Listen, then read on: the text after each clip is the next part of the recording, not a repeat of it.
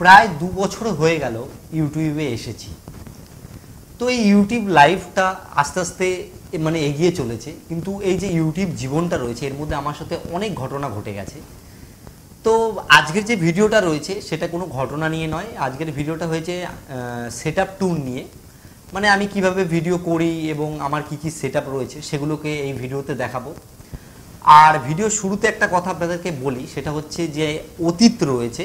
প্রত্যেকেরই কিন্তু একটা অতীত থাকে যে সে কীভাবে সেই কাজটা শুরু করেছে, তার একটা পার্সোনাল লাইফ থাকে। কিছু কিছু কথা আছে যেগুলো অনেকেই জানেন না, যারা ভাবেন যে হয়তো অল বাংলা টিপস হঠাৎ করে শুরু হয়ে গেছে সব কিছু তার হয়তো ছিল। কিন্তু যারা অল বাংলা টিপসের পুরনো সাবস্ক্রাইবার তারা জানেন আমি কিসের মধ্যে দিয়ে আজকে এই জায়গাতে আর কি আসতে পেরেছি। তো এমন একটা সময় ছিল যখন আমি ইউটিউব সম্বন্ধে জানতে পারি। তখন আমি বাগানে ভিডিও করতাম মানে ফ্রন্ট ক্যামেরা দিয়ে বাগানে ভিডিও করতাম। আর আমার প্রথম শুরু থেকেই একটা শখ ছিল যে আমি ফেস ক্যাম ভিডিও করব, ক্যামেরার সামনে এসে সবার সাথে কথা বলব। কিন্তু তখন মানে যখন আমি স্টার্ট করি, তখন বাংলাতে সেরকম ক্রিয়েটর ছিল না। বাংলাতে কেউ ভিডিও বানালে এক থেকে দু হাজারের উপরে ভিউজ উঠতো না। কয়েকটা বাংলাদেশি চ্যানেল ছিল। এবারে বাংলাতে যে ভিউজ হতো না, বাংলার যেসব ভিউয়ার্সরা রয়েছে, তারা ম্যাক্সিমাম যখন হিন্দিতেই ভিডিও দেখতো, বাংলাতে তখন কিন্তু অত লোক আসেনি। তারপর তো জিও এত পরিমাণে চারিদিকে বেড়ে গেল যে বাংলাতে অনেক ক্রিয়েটর আসাও শুরু করল এবং অনেক ভিউয়ার্সও আসা শুরু করল। এবার আমি তখন, তখনই বলেছিলাম যে বাংলাতে আমি কিছু করতে চাই, বাংলাতে ভিডিও বানাতে চাই। আস্তে আস্তে ভিডিও বানানো শুরু করলাম। কিন্তু দেখুন, সবসময় তো আর বাগানে যাওয়া সম্ভব নয় বা মাঠে যাওয়ার পরে ক্যামেরা যে কেউ ধরে দেবে, সেরকম লোক তো পাওয়াও কিন্তু মুশকিল। আমি কি করলাম, আমার একটা মোটামুটি একটা রুম ছিল, ওখানে কি করলাম পেপার কিনলাম, ঠিক আছে? সাদা পেপার কেনার পরে তার মধ্যে গ্রিন কালারের আর কি রং করলাম। রং করার পরে সেটাকে দেওয়ালের মধ্যে লাগালাম। কারণ গ্রিন কালার কেন লাগালাম? আপনারা হয়তো অনেকেই জানেন গ্রিন কালারের কোনো কিছু যদি ব্যাকগ্রাউন্ড হয়, সেটাকে ইরিজ করা যায় মানে রিমুভ করা যায়। আমি ব্যাকগ্রাউন্ডে অন্য কিছু বসানোর চেষ্টা করতাম। তো এইভাবেও অনেক কদিন ভিডিও করার চেষ্টা করেছি দু একটা ভিডিও এইভাবেও বানিয়েছি। কিন্তু আমি শেষমেশ দেখলাম যে আমি যদি এরকম ভিডিও বানাই, আমি মানে বেশি ভিডিও বানাতে পারব না। আমার অনেক চাপ হয়ে যাচ্ছিল। কারণ দেখুন, একটা কিন্তু ট্রাইপডও ছিল না। আমার এক বন্ধু আছে, পিন্টু। ওর থেকে আমি একটা সেলফি স্টিক নিয়েছিলাম। সেলফি স্টিক্সটাকে কি করেছিলাম দেখুন, একটা বাড়িতে শাবল ছিল। ওই শাবলটাকে মাটির মধ্যে পুঁতে ওর মধ্যে সেলফি স্টিকটাকে বেঁধে তারপরে ভিডিও করার চেষ্টা করতাম। অবশেষে একদিন আমার মনে হলো যে এইভাবে তো বেশি দূর এগোতে পারব না, কারণ এইভাবে হচ্ছে না। কারণ দেখুন, একটা যদি জোগাড় না থাকে, সেভাবে হয় না।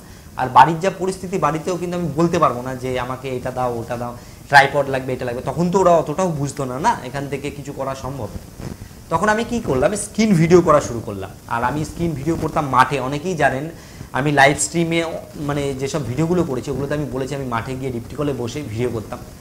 আর সেখানে ভিডিও করতে অনেক প্রবলেম হতো। দেখুন, মাঠ তো অনেক কিছু আওয়াজ আসতো, অনেক সময় আবার অনেক সময় দেখা যায়, মাঠে দেখবেন খুব হাওয়া দেয়। যখন হাওয়া দিত, আমি হাঁটুটাকে এরকম করেও কিন্তু ভিডিও করতে হতো আমাকে কষ্ট করে। তো আপনারা কিছু ক্লিপ দেখুন।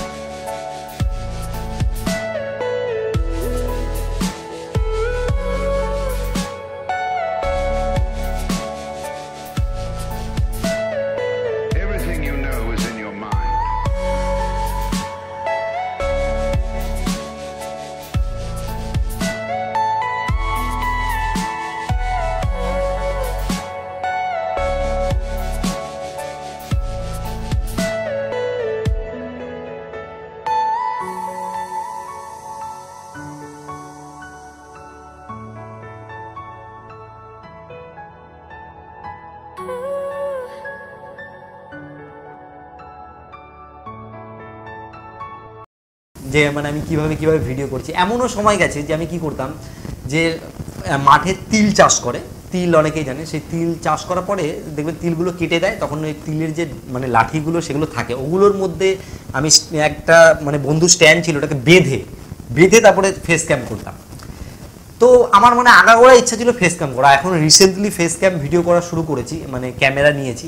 তো আপনাদের এই যে ডিএসএলআর যে ক্যামেরা আমি নিয়েছি, এরও স্টোরি একদিন শেয়ার করব, কি কীভাবে ক্যামেরাটা কিনেছি মানে কত টাকা খরচা পড়েছে, এটা নিয়েও করব। আপনারা কমেন্টে জানাবেন সেই সম্বন্ধে জানতে চান কিনা।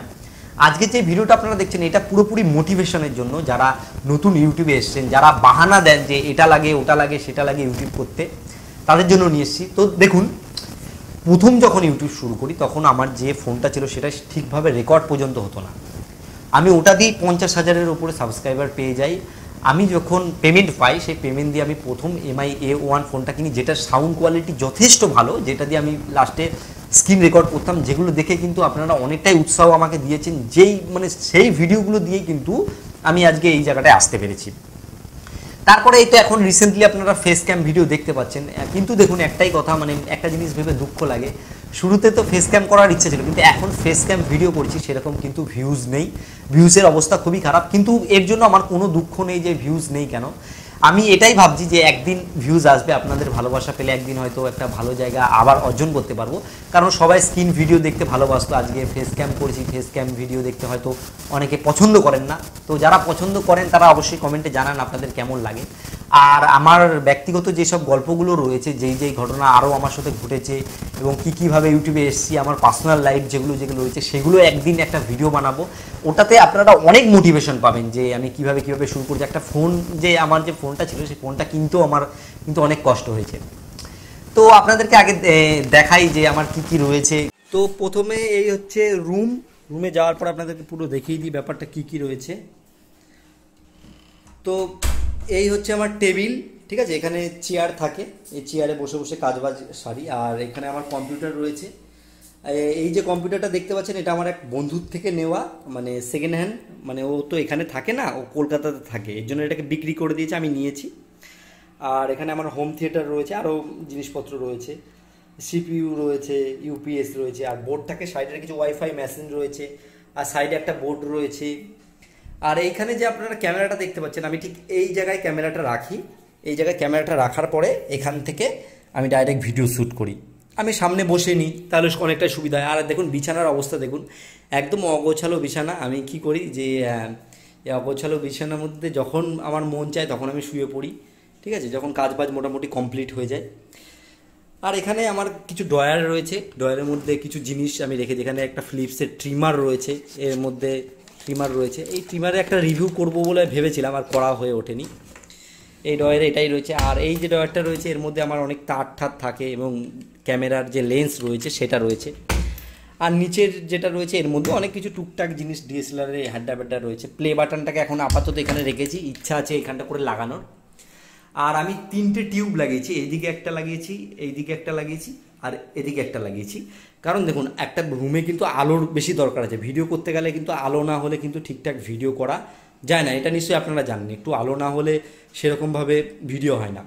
তো এই হচ্ছে নর্মাল সেট আপ গরিবের সেট আপ বুঝতেই পারছেন। আর আগের সেট আপ তো জানি, দেখতেই পেয়েছেন আপনারা, খুবই খারাপ পরিস্থিতি। এইভাবে এগিয়ে যেতে হবে, দেখা যাক কতদিন কী করতে পারি। তো বন্ধুরা, কেমন লাগল আজকের ভিডিওটি অবশ্যই কিন্তু কমেন্টে জানাবেন। এবং ইউটিউবে যারা নতুন আর কি আসছেন, তাদের উদ্দেশ্যে বলি, আপনারা যদি চান, তাহলে কিন্তু একটা স্মার্টফোন দিয়ে ইউটিউব শুরু করতে পারেন। এখানে কিন্তু আপনার যে অনেক কিছু লাগবে, এমন কিছু ব্যাপার নেই। একটা মানে কষ্ট করুন জীবনে, কষ্ট করলে কিন্তু একটা অনেক বড় কিছু অ্যাচিভ করা যায় বা অনেক কিছু মানে বড় কিছু অর্জন করা যায়।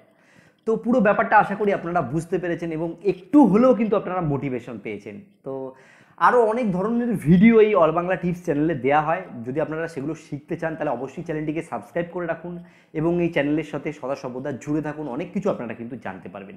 তো যাই হোক, আপনারা সুস্থ থাকুন, আপনারা ভালো থাকুন। টাটা।